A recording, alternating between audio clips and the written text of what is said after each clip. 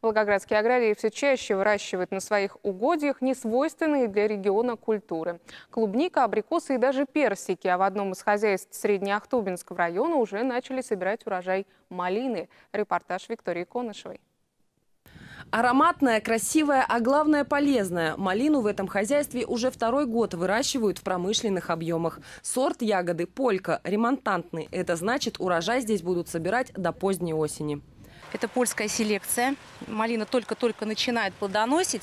Очень сухие ягоды, транспортабельные, крупные. Вот второй год вегетации, она, видите, какая уже крупная. На четвертый, пятый год она будет еще крупнее, там ягода 4-5 грамм. В хозяйстве Елены Тупиковой уже несколько десятилетий выращивают овощи – огурцы, томаты и лук. Идея выращивать ягоды появилась несколько лет назад. Малина – это нетрадиционная все-таки культура для нашего региона. Ягоды вообще у нас не принято в промышленных объемах выращивать. Ну, хотелось попробовать, интересно получится. Знаю, что некоторые фермерские хозяйства занимаются земляникой очень успешно. Ну, почему бы малины не попробовать? Ну, вот второй год у нас получилось. Видите, какая получилась красавица.